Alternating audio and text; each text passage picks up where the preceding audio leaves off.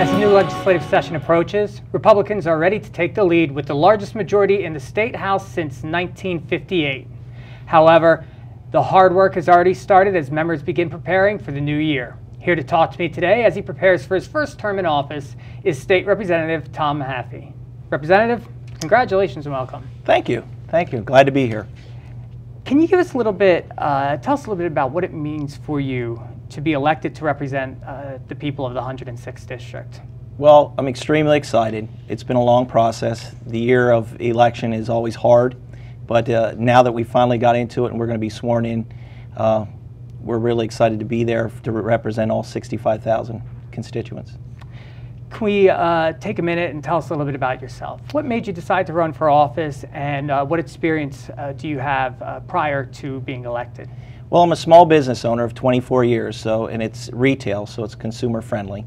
And uh, about eight years ago, I took a vision to be a uh, commissioner in Lower Swatara Township, and I won my my election, and I was there. I represented the uh, the small a small district, okay, which is only about 85,000, 8,500 people, sorry, and uh, we had the opportunity to do really great things, and I just wanted to get out there and, and, do more. You know, I felt it was is my calling to go out and, and represent more and do more and, and better the state and our district.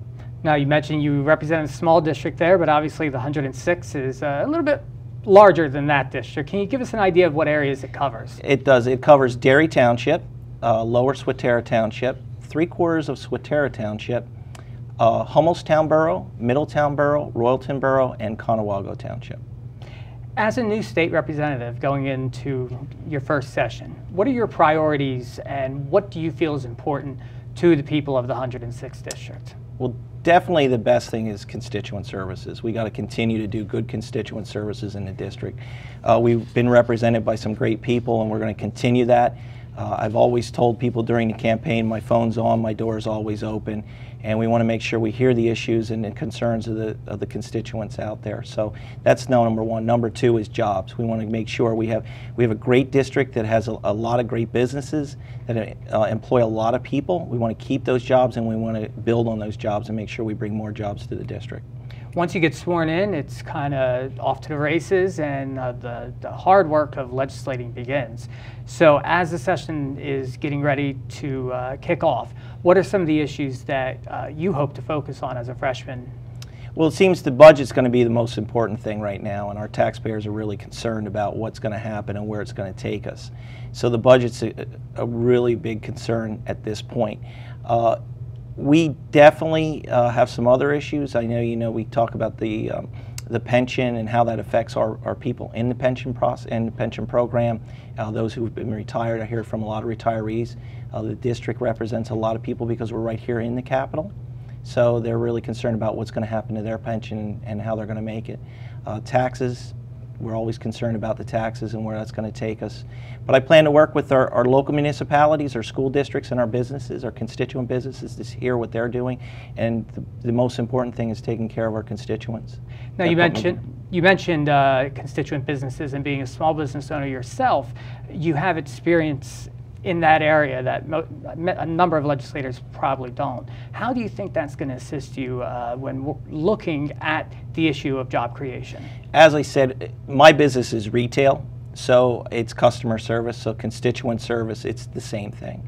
And it's reaching out and making sure and seeing what the people want of the district and, of course, the constituent businesses and continuing the growth that we've had and, and responsible growth that we need. Uh, I, I've always you know, said to people, there's no difference between business and basically, um, you know, politics or, or, being in a political position. But there are differences. I, I figured that out when I became a commissioner. Uh, there are subtle differences, but at the end of the day, it's all taking about taking care of your customers and your constituents. Okay, we only have a few seconds left, but is there anything that you'd like to say to your constituents uh, now before we end the program?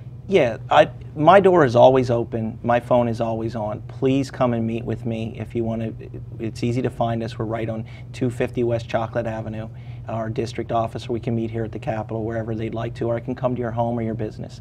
And I'd just like to reach out and say, we're here for you, so whatever you need, we'll be glad to help you out with. All right, again, Representative, congratulations on your win, and we look forward to uh, speaking with you more in the upcoming session. Thank you. That's all the time we have for today's program. If you have questions about what you've just heard or any other state government related matter, Representative Mehaffie's contact information will be on the screen in just a moment. I'm Anthony Tezak, and thanks for spending a few minutes with State Representative Tom Mehaffie.